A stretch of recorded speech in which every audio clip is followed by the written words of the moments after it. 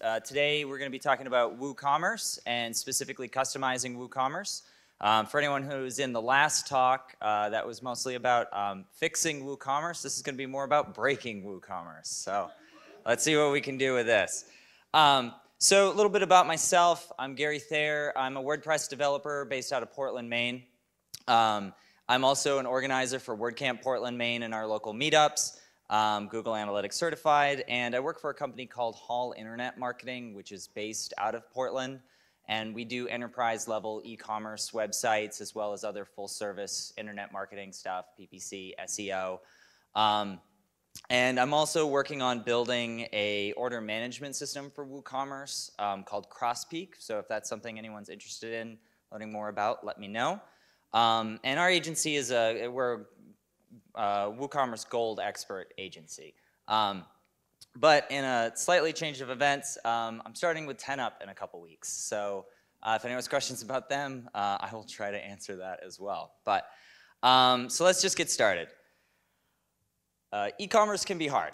Uh, it's definitely, you know, installing WooCommerce can be very easy. Um, but actually running a business, as, as any business owner knows, can be very, very challenging uh, whether it's going to be a brick and mortar business or it's going to be uh, a shop online.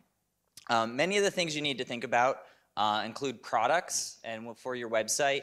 Uh, how are you presenting your products? Uh, what are the images you're going to use? Do you have to get those photos, photographs taken?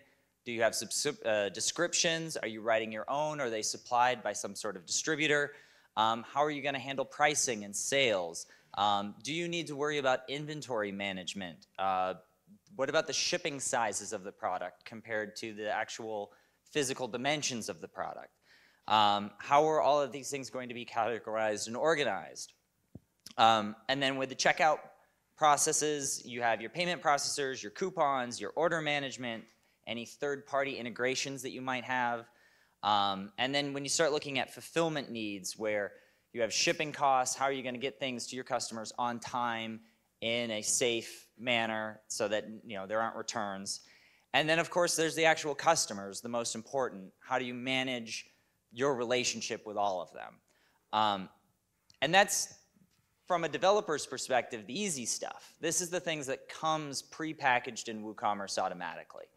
Um, so a lot of uh, a lot of the stuff that you might need for your business, WooCommerce is going to have, but I've never met two businesses that operate identically. There's always some product that needs to be shipped in a different way, or it needs to be delivered in only on Thursdays under a new moon, or something, something ridiculous like this. Like, it's um, that's so that's the realm we're going to look at here today. Um, we're not going to talk too much. We're going to look at a little code, but it's not going to be too codey. Um, but hopefully what we'll look at is some of the best practices to go about modifying your WooCommerce site and um, some of the mistakes I've made with this, and uh, we'll go from there. Um, I should have said this earlier. If you have any questions, just raise your hand or start yelling at me. We can do Q&A at the end, but I'd rather have just a conversation. So, um, so this is an example from uh, a customer. My store sells perishable products which need to be shipped and delivered on a specific date. Um, so in this case, it's a flower delivery company. Um, so by the nature of their business, um, their products go bad. You can't return a product to them because it will be dead by the time it gets there. They can't resell it. Um, furthermore, it needs to be delivered on a specific date, birthdays, anniversaries, holidays. Um, and you need to allow customers to choose a delivery date, which not only means that somebody in January should be able to order for Mother's Day, but it also means that you need to determine where am I shipping my product from and where am I shipping my product to, how long is that going to take, and then how can I fulfill it to have it arrive not too early and not too late. If you're too early for a birthday surprise, you've ruined the surprise, and if you're too late, you've lost a friend. like, so, um, uh, so those, you know, that's some of the challenges that, that uh, a business might have. Um, this is another one. Uh, I want to sell products to some of my customers, but not all of them. Kind of a strange request at first. Um, but in this case, they have um, wholesale products. So they might be selling Uh, in this specific client, they sell uh, like an energy bar. So you could maybe buy a six pack, a 12 pack, a 32 pack, but you couldn't buy the 64 and 128s because that is for wholesalers. So if somebody has an account, that account becomes registered and approved as a distributor. When they then go to the store, they now see twice as many products available. Um, and this is one of my favorites. Um, my business is a store, but you can't buy anything. Uh, and uh, in this case, um, they needed WooCommerce. It's basically they wanted a WooCommerce site. You could go to the site, you could view the catalog, you could add a product to your cart, you could even check out, um, but you didn't actually pay for anything. And what they were doing is they, they sell um, uh, flame resistant fabric. And so if you're a type of person that needs flame resistant fabric, you need you know, bolts and bolts and bolts of it.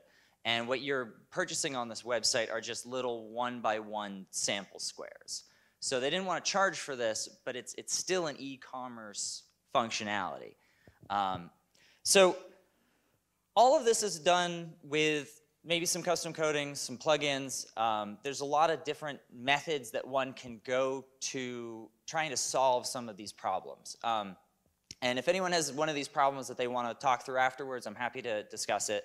Um, but let's take a look at how one, oh yeah, I forgot this slide. Um, often clients who have problems that they bring to you, they're not always development problems. Sometimes it's an actual business problem. And um, as someone who is developing and working with businesses, um, it's very easy to just, okay, they need it to be delivered on this date at this time for whatever reason, and I'm not gonna bother asking, it's just what they're telling me to do. Um, it's very easy to get into that habit, and then you start building these very complicated websites that will cost the client more and more and more as time goes by. Um, and I strongly recommend that when you are getting into these customization examples, talk to the client and determine why is this very important to you? Um, or this is going to take me 30 hours to do this. Is that still an acceptable cost? Um, because oftentimes businesses have been doing things because that's the way they've been doing things. And like I, one example I can think of is we had a client that does these uh, workshops and they have four payments uh, and it's a thousand dollar class and you would think they would charge 250 250 250 250 but instead they charged like 650 100 25 dollars and then the remaining amount. And when we asked them like why are you doing this? they didn't know. They've just been doing it that way for 14 years. It's just it's just what they've always done. Um, and and they they maybe had a good reason back then but we don't need to do that today. So, but had we have not asked that question, we would have spent 20 hours building some customized checkout process for this. Um, so there's two main ways of modifying your WooCommerce site, um, or maybe a few more, but we're going to take a look at, um, firstly, modifying theme files. So if you don't know this about WooCommerce, Inside of the plugin itself, it has a set of theme files which you can copy and bring into your own website. Uh, and you can copy from plugins, WooCommerce templates, take the file you want and paste it into your theme. And uh, in your theme, you create a WooCommerce folder and you basically maintain the same file hierarchy that is within the WooCommerce plugin. Um, this is a very useful, simple method for modifying your WooCommerce website. Um, the benefits of this, uh, well, the benefits are pretty easy, is that it, it's simple to do. Uh, you can go in, you can add some content, you can remove some things, add a picture, add some classes, do whatever you need to do. Um, the problem is that you then need to maintain these files as WooCommerce evolves. So anyone who's worked in WooCommerce has probably run into something like this. Um, so if, if you're unfamiliar with this, um, so WooCommerce is a plugin, and plugins update and evolve over time, and so they change their theme files as their best standards and practices are improved. Um, that's great. The bad news is that because you've copied a version of this into your own theme, if you don't keep up with the times, you will eventually break your own website just because you haven't been keeping up with whatever your plugin updates are. So whenever you update WooCommerce, you also need to take a look in the WooCommerce status area and see if any of your modified theme files also need to be updated. Um, and in this case, this is a rather large site we had. You can see that we modified way too many theme files for these people. And when WooCommerce went from 2.x to 3.x, they changed a lot of theme files in that process. And we had to go through all of these that were highlighted, take a look at what was the original version of the file, what is the edits that we made to that original version, what is the new version, what edits did they make, and then how can we apply our business need into the new WooCommerce standard. Um, so my recommendation for editing and updating template files is try not to. Yes?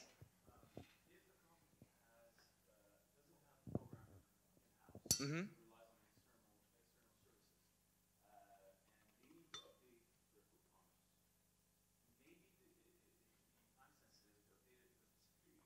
Sure.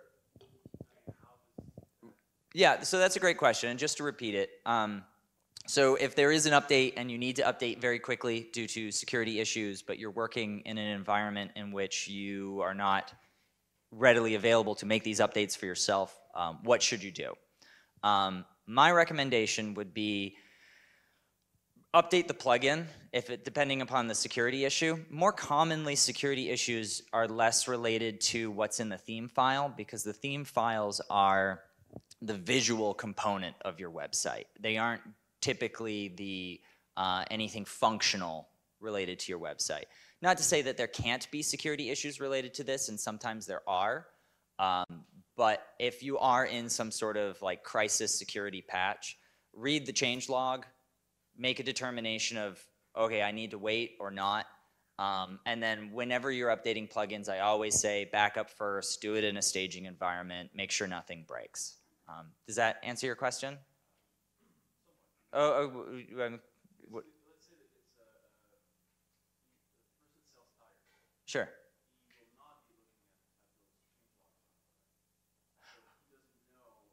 So uh, in this scenario, you're the agency and he's the customer, and the customer may or may not update the plugin in time. I see. Okay. Uh, right. Um, so that maybe then that's maybe a different discussion of how of client management related to WooCommerce. Um, and I think this goes to my first line here is if you're in that scenario, try not to edit the theme files because you're not going to be around when those plugin updates are taking place. And we're going to look at another method for modifying things, um, which is generally more powerful, but sometimes um, a little more challenging to work with. But um, we'll get there. All right? Cool. Thank you. Um, uh, great question, though. So if you are in a scenario where you are modifying these template files, um, I strongly recommend heavily commenting exactly what change you've made. Do an opening line, edit start here, make your edits. Closing line, edits end here. Um, because what's gonna happen is eventually you're gonna have to do these three-way diffs of seeing what was the original, what is my version, what is the new version, and you're gonna have to make the determination of do I take my edits and put it in the new thing, or do I take the new thing and apply it to my current file? And um, it, it, it, it, cannot be a lot of fun sometimes. Um, and so the best method is to use actions and filters. So if you're not familiar with actions and filters, they're uh, a handy feature uh, that comes with WordPress at large. Um, actions let you insert pieces of functionality inside of other processes. And filters let you take pieces of content and modify it for uh, different use. So for example, if you wanted to send an email when someone uh, completes a purchase, that would be an action. But if you wanted to change the name to say from howdy Gary to bonjour Gary, that would be a filter. Um, so WooCommerce has uh, a ton of filters built into it and a ton of actions as well. And when you actually look at their template files, the template files are almost entirely made up of these do action endpoints. So while there may be some HTML wrapping to it, most of the time you can do things like I don't want the price of the product to display, or I want it to be in a different order, or something like that. You don't need to change the template. You can actually do it through actions and filters. Um, uh, it does require a bit more understanding of Woo under the hood, but it's much less likely to become deprecated um, because these, uh, you know, these template files aren't changing constantly. They will sometimes become deprecated, and whenever you turn on your WP debug, especially 3.0 and 3.3 started giving these notices saying, don't use this filter, it's now deprecated, use that filter. Um, even though it's deprecated, it should continue to work. Um, so uh, questions on actions, filters, anything like that before I move on? Yes? Uh, question is, how long does the deprecation last and when do they remove it? Um, I think it can be up to two years before they remove it. Um, you know, WordPress is very backwards compatible focused, um, but I don't know the exact answer to that, but I would argue it's going to be at least a year before they, they pull the trigger on it. Yes? Yes.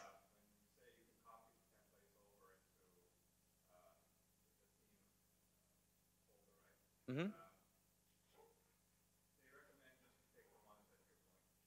Yes.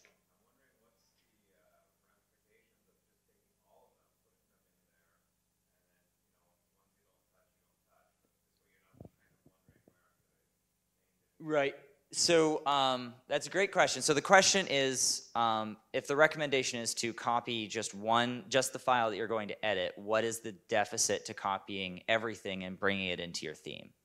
Um, the deficit is, is this example of, um, in this case, we have all these things. Now let's say I only needed to change the checkout form login, which didn't actually get updated in this case.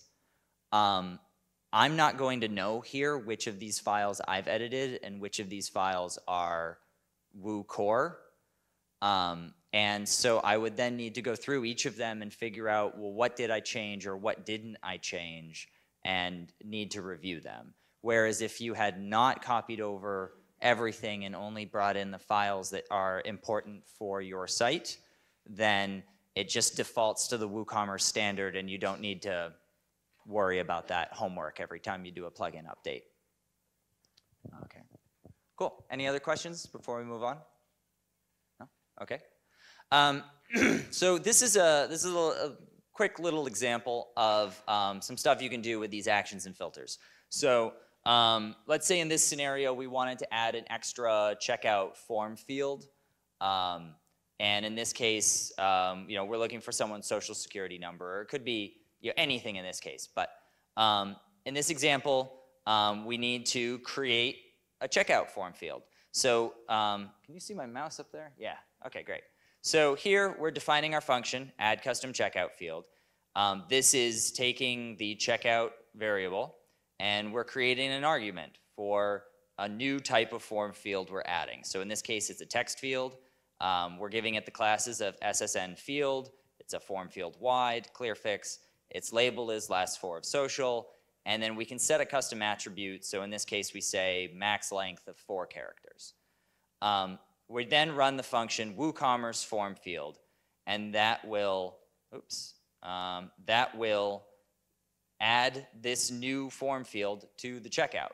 Now this function on its own won't do anything unless you actually declare, I need you to fire somewhere.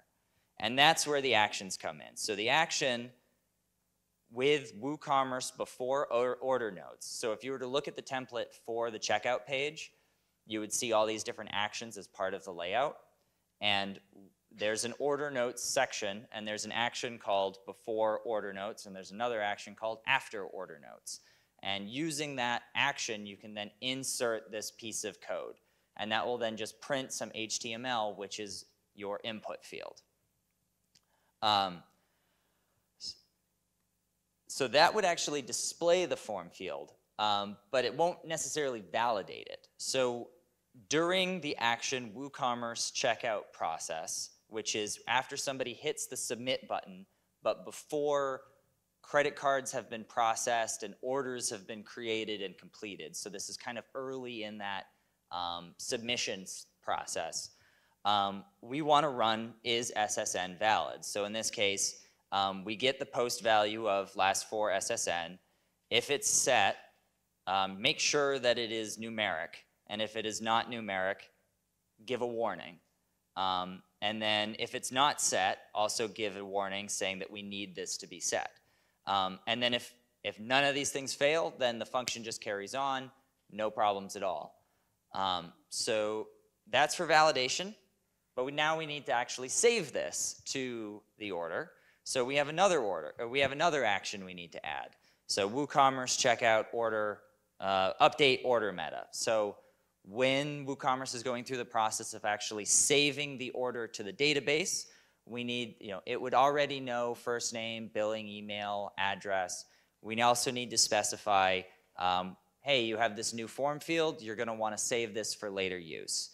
Um, and kind of following the same pattern as before, we take the order ID, we get the last four, and we run a simple update post meta and sanitize the value before saving it to the database for security's sake. Um, so that's sort of like some back-end functionality related to actions and filters. Um, do we have questions on that before I move on? We good? Okay. So this is an example of a, a process uh, uh, using actions and filters um, running in the background of your website. But instead of modifying theme files, you can also use actions and filters to modify the front end of your website too. So in this case, um, the first half of what we see here, everything above my cursor there, this is pulled directly from, I believe, the simple product, the single product template page. So on that product page, instead of seeing HTML, which says the title and then the rating and then the price and then the excerpt and then the add to cart, um, it's actually comprised of, what is this, eight different functions that all hook into this one action. Um, so what the Woo template does is it just says, when I reach this part of my process of building the website, go run all of these other functions. And the functions will run in the order in which they are defined. And that is done through um, what's called priority. So then this note that WooCommerce has left us states what is, oops, uh, what is the function being run and what is its priority. Lower priority means first, higher priority means last. So in this case, the title is the first thing to display, then the rating, then the price, then the excerpt, etc. Um, down below is an example of, let's say for whatever reason I wanted to move my um, product title and I no longer wished it to be at the top of the page, but I wanted it embedded with the rest of my content. I can instead of going into like a theme file and deleting it and then adding it somewhere else or um, I can do this by removing and adding actions. So I would start by remove action, WooCommerce simple or single product summary, WooCommerce template single title. So remove from this action set this function, which is the first we see here. And then I've added a five at the end, which is the priority of the function that I'm removing. So, and I know it's five from what's in the template file. I can then re-add the same function and say add action to the WooCommerce single product summary, add that same function as before, except this time give it a priority of 41. And so that means when the page is actually being printed out, it's, the title is going to display somewhere between the WooCommerce template single meta and the WooCommerce template single sharing. Um, I'm not sure why you'd want to do this exact example, but, um, but it's, it's supposed to serve as an example of, of how you can modify your templates without actually copying them into your theme. Yes?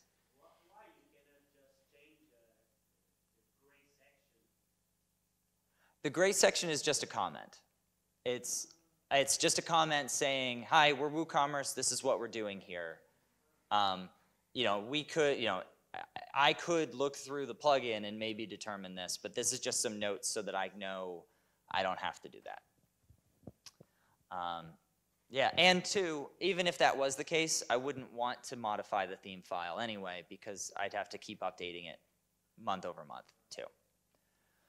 Um, any other questions on this before we go? Move on. No? Okay. Um, another very simple and obvious method for modifying your WooCommerce site are the use of plugins. Um, there's you know, hundreds of thousands of them out there, I'm sure. Um, they do a lot of great stuff. There's plugins for deposits. There's plugins for subscriptions. There's plugins for um, delivery. There's plugins for shipping. There's plugins for you know all kinds of stuff. Um, a lot of them are great quality. A lot of them are not great quality. It kind of depends on which one you're going to use. Um, the good plugins have a lot of the functions and, and the actions and hooks that WooCommerce has as well. So, um, uh, so for example, the WooCommerce subscriptions plugin, which we use a lot, has a ton of things peppered into it so that we can extend it to say, um, you know, that we want our subscriptions to behave differently. Um, the good news is that because they're relatively simple to install, um, you don't have to do a lot of work and it probably, you know, does a, more than you would want to sit down and code yourself. Um, the bad news is it's not your code. Um, subscriptions might tomorrow decide we're doing things very different than however your business needs it, and too bad, the rest of the internet needs it this way. So, um, so you know, I, I, I don't have a problem with using plugins, but make sure that whatever plugin you are using, you trust the developer, you trust the code, and you're not just going onto the repo and blindly downloading every everything with woo in the title because uh, that's going to give you a lot of problems in the long run. Um, few recommended ones I say um, are Woo subscriptions. Um, uh, the WooCommerce one-page checkout is kind of an interesting tool where it combines the checkout page and a product page into a single template. Um, and the benefit to that is think of like uh, PPC landing pages. So instead of having to like add to cart, go to the cart, go to the checkout, get to the thank you page, you could have a landing page that just advertises whatever your product is and they can check out without ever having to leave that initially jailed experience. Um, URL coupons is kind of an interesting one. So if somebody goes to my website, question mark, 10% off, that will then automatically add a 10% off coupon to their cart. Um, also useful for um, uh, PPC campaigns. We've used it for radio campaigns too. Um, you know, go to my website slash radio one, get this deal, and it just instantly adds it to their cart. And I believe two URL coupons can be extended to force products being added to the cart based on landing on that URL as well. So if you have like a very specific thing you're trying to sell. Um, PDF invoices is kind of a nice one. Um, it just kind of gussies up the receipts that um, you that uh, WooCommerce has. Um, that they can be they they look nice for printing, and you can use them as packing slips and everything. Um, and they're very uh, extendable and modifiable. Um, so this is a this is a big topic. Um, uh, so I think it's based on the room. It seems like a lot of people have been here.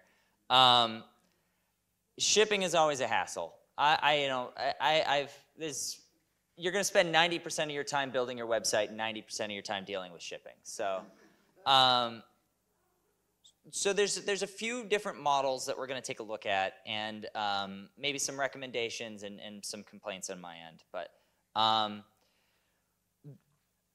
this is a this is an example of what's called the bin packing problem. And if you go onto Wikipedia and read about it, it's just tons and tons of math I don't understand. But the idea is um, in this case, we have nine products, and we want them to fit as economically into five boxes as we can.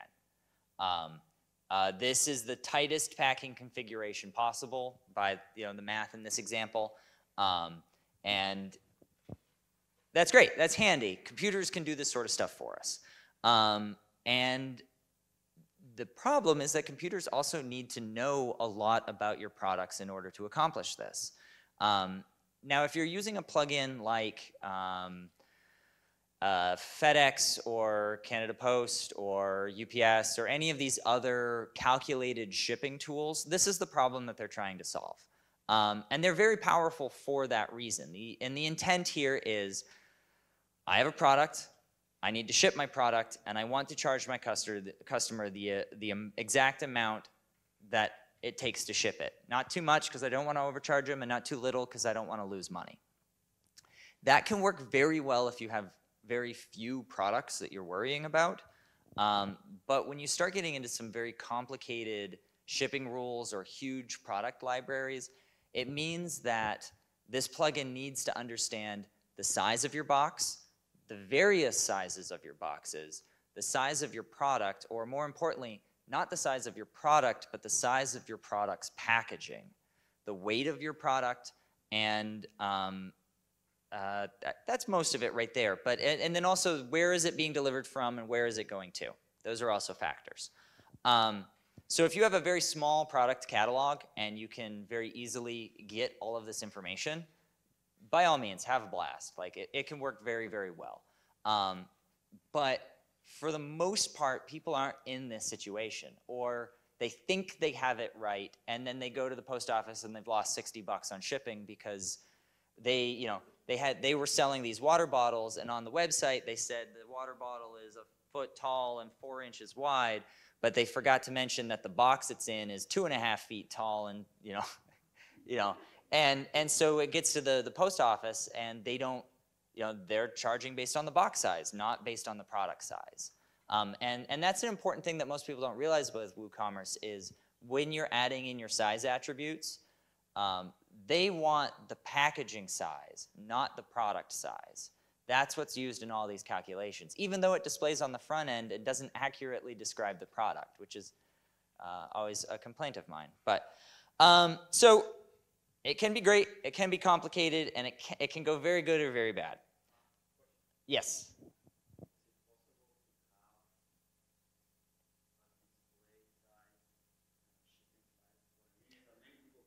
Yep. Yep.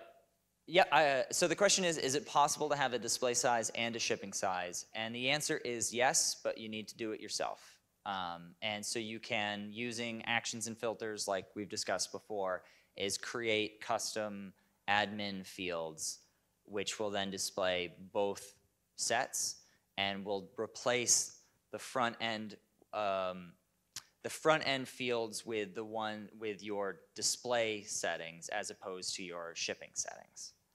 Um, yeah, that's a good plugin idea. If someone hasn't done that, I should do that. Um, uh, okay, any other questions? Questions on that? Trying to trying to jam all those things in boxes. Thoughts there? Worst thing I've ever heard is when I asked customer really, really, really wanted this, and I asked them what sizes are your boxes, and they said, I don't know, just whatever we have lying around. Um, and that's not going to work for you guys. So um, that's why I like table rate shipping. This is my favorite. If I could be king for the day, 95% of people would be using table rate shipping.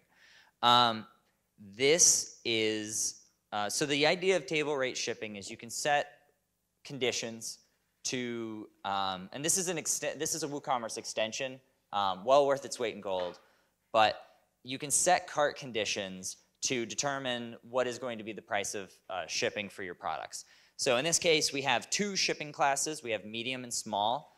Um, anything that is uh, a quantity between one and a thousand in the medium shipping class um, is going to have a minimum base shipping cost of $5 with $3 for every additional product. Um, and then when we're looking at the smalls, anything between 1 and 49 is treated one way, and everything between 50 and 100 and 1,000 in quantity is treated differently. So this is great for just creating these very broad, wide nets for shipping rules. Um, I find that they're generally easier for customers to understand. Everything on the website is $10 per product. Very easy to understand. They don't feel like they're getting scammed. It's customer service can respond very easily as opposed to I, I don't know why it's 1745. I, that's that's what I was told. Like so, it's hard to um, it, it can be hard to communicate the uh, calculated shipping rates with customers. Um, that being said, sometimes you're going to make money on shipping, and sometimes you're going to take a bath. And um, what I recommend to customers who or clients who are going down this route is let's look at your, your orders you've already done and what's your average shipping cost? And then let's look at it as an average order value and spread it out across everything. So the, you know, the intent is um, to, in aggregate, have your shipping work at, at, at large instead of having every order exactly specific. Thank you, Ten. Um, so here's our two, two models. There's a few other approaches, but I think these are the, the major ones. Um, so bin packing, pros to it, shipping can be exactly correct. Math is good for you. Math is done for you, rather. Um, and some plugins can even like package and ship uh, the shipping labels for you, so you could print them out and slap them on the box, like stamps.com is a great example. Um, a con to this is um, you got to know your uniform box sizes. You got to know the size of all your products. And um, if, especially if there's packaging like styrofoam or ice or anything, you can't forget that when you're doing these calculations. Um, and that, that can very easily complicate it too. Um, uh, table rate shipping, however, is much more predictable. You know, five-year-olds can do the math more often than not. Um, much easier to manage each product. You don't have to worry about measuring everything. Um, and it's more flexible for the business owner. It is inexact. And if you're uncomfortable with inexact, this might not work well for your business. Um, and it, but it does, and it does require an understanding of your whole business strategy. You can't look at it at a per order basis. Um, and so you got to be willing to adapt because of that. And you might find out you're losing money, and so you up the rates, or you might be making too much, and you, you take it down. You know, it's not set in stone. Um, so that's the end of my talk here. Um, we've answered a few questions, but um, any other questions at this time? No? Okay. Um, all right. Well, uh, my slides are uh, on Twitter. You can check them out there. Um, if you have any, if you have uh, any specific things you want to discuss with me, I'll be kicking around here for a little bit. Oh yeah, question.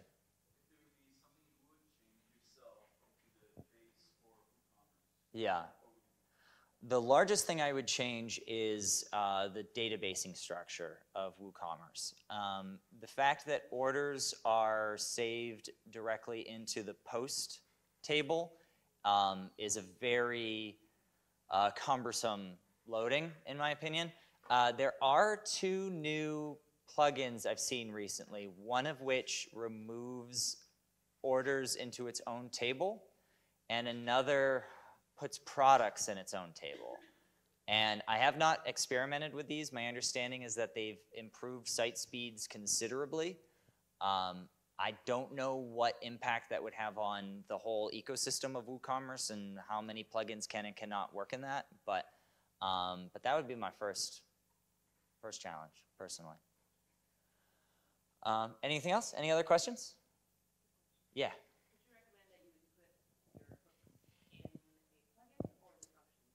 Uh, good question. So the question is, would you recommend whether you put your hooks and filters in uh, its own plugin or part of your theme in the functions file? Um, I think both can work. I generally package it with my theme, but I package it as its own standalone PHP file called Woo Overrides. And then if there was maybe a Woo subscriptions overrides and a Woo deposits override, they would be their own files. Um, because a, it's segmented and modular enough that if you do need to move it, you can. It won't become deactivated by mistake.